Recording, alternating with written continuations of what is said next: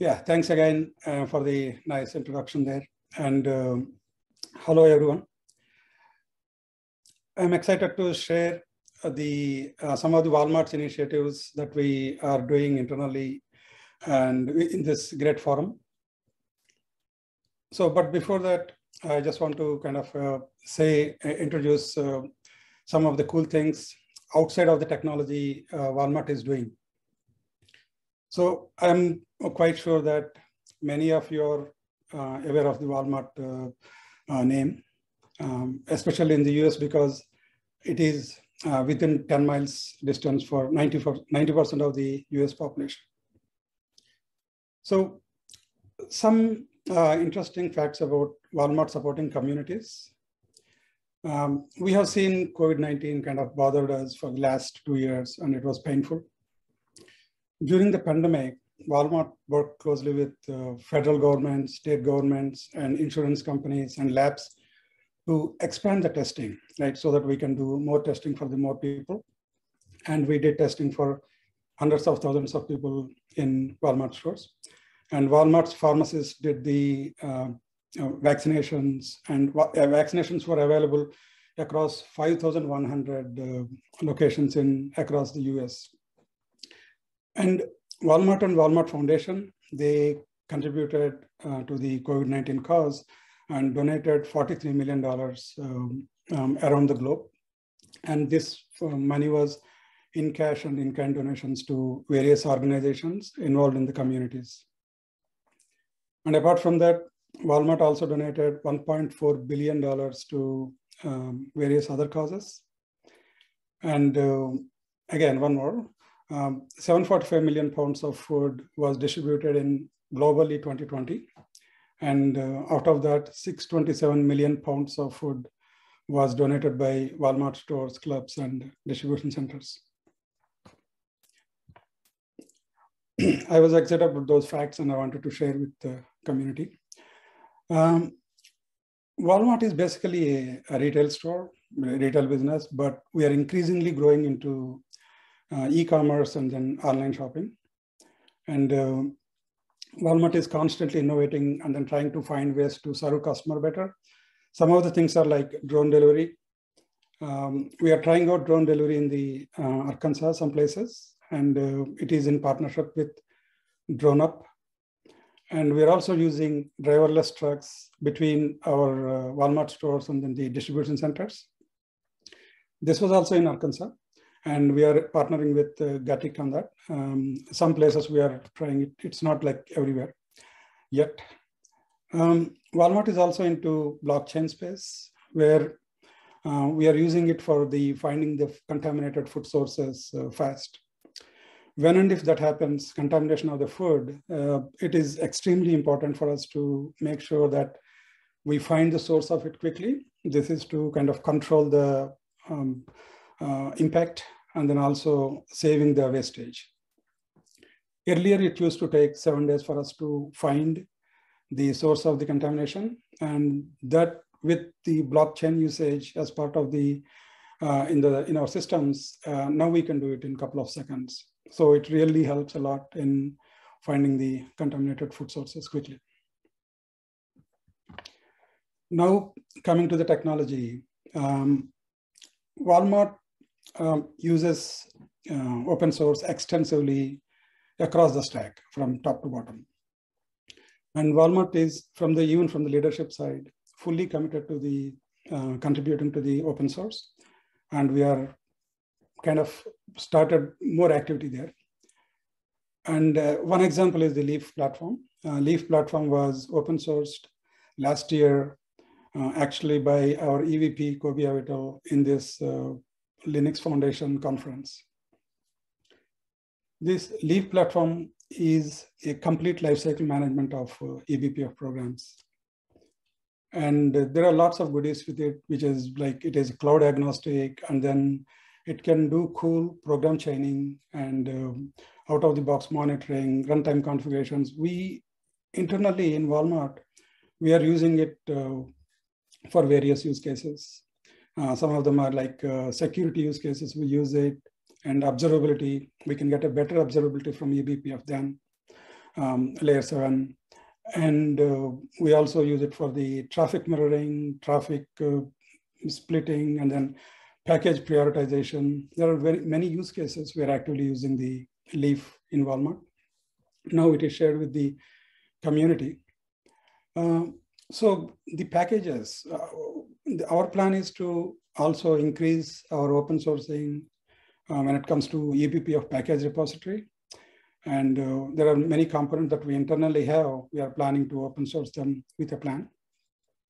And our request to the community is to join us and uh, build, uh, help building the great eBPF package repository. So one step towards that uh, uh, open sourcing is uh, XLB.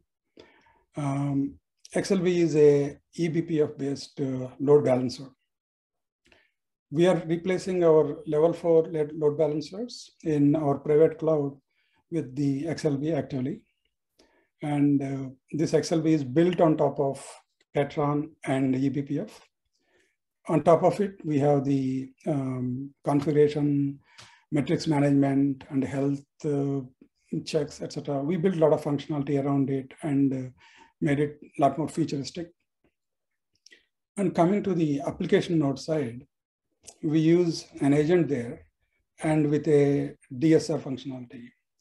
DSR is direct server return. This is, means that whenever the application sends the response back to the client, it doesn't need to go through again XLB. It can directly go to the client. So that helps in uh, latency improvements. And we also package that uh, application node usually with uh, chaining couple of more modules. In this case, uh, rate limiting and connection limiting along with the um, other stuff in the ELB based ELB agent. This helped us uh, kind of protecting the nodes uh, from unwanted or unexpected uh, traffic coming into the nodes. So it will just try to make sure that the resources are not overwhelmed uh, beyond its capacity. So these things, if you look at it, it is not really the just load balancer. It is more about um, extended load balancer features. So this one, uh, XLB will be uh, open source soon. Um, we are doing some efforts towards that and it will come probably in few weeks.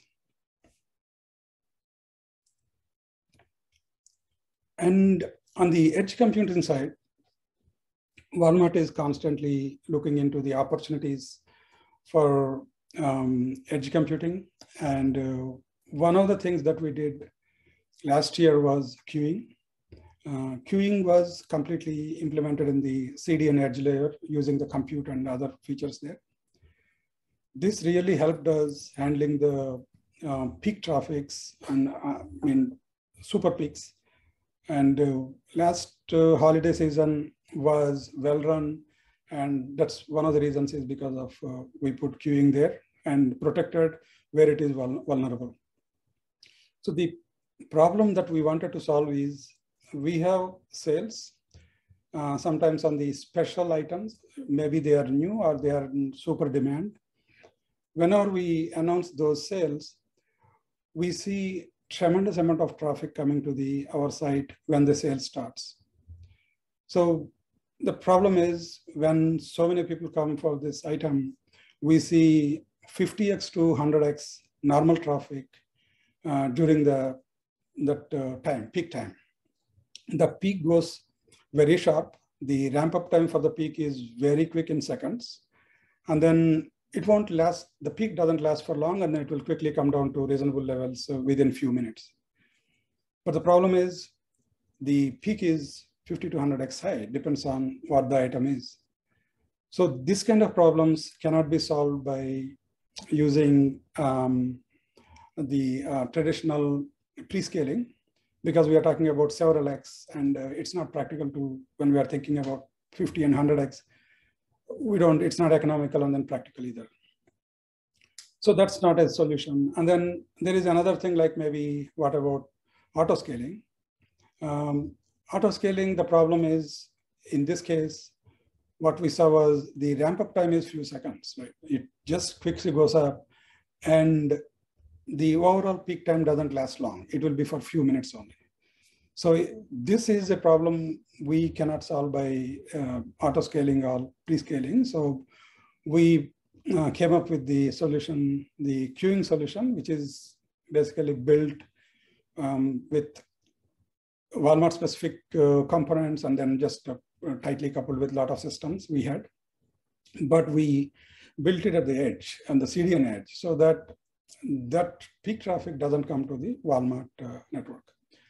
So we, we successfully handled and stopped the customer at the edge and then allowed some control traffic to the our nodes based on our capacity and then whatever was the plan. So this one really worked out well for um, during the last holiday period. And this is this gives a general perspective on how the queuing from customer perspective. Uh, I can't go into more detail, so I just giving this whatever is makes uh, uh, gives a better understanding. So when a customer likes to buy a hot item that is on sale, they click on the item and then they go through two phases in the queuing experience. One is the waiting phase, another is the purchasing phase. In the waiting phase, um, customer will know like what is the possibility of getting that item. So there will be some kind of message and then they get a timer. This timer tells how long they have to be in the waiting phase before they go to the uh, purchasing phase. So this, um, when customer uh, time times out on the timer or it, their turn comes, they go to purchasing phase. And the purchasing phase, we give another timer so that customer has enough time to check out. The important thing is um, when customer is in the purchasing phase, we make sure that that item is allocated to the customer and then blocked for them. So behind the scene, whatever is needs to be done on the application side, we do that. And uh, this purchasing phase has timer when that expires, it releases the item. If the customer does check out before that, then it will be, they'll be successful. So this purchasing phase is just like we can say, uh, keeping a physical item into the physical cart in a physical store, just like that is with you until you check out. This itself changed a lot uh, during our sales because this has given a lot of power to the customer to kind of not to rush and then try to compete with other users on the web. This is more about they can do more peacefully all this shopping. So this is all implemented on the uh, CDN edge. So, and we eventually might even take it to further down the lane, but that's uh, at this point, that's how we implemented it. How this helped Walmart?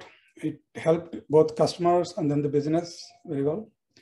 Um, it's a great customer experience because we got a lot of feedback uh, saying that earlier the sale used to end very quickly and within few seconds and mostly it is bots or some other uh, things by them and then real customer were kind of very painful. They always get to check out and then get a error there.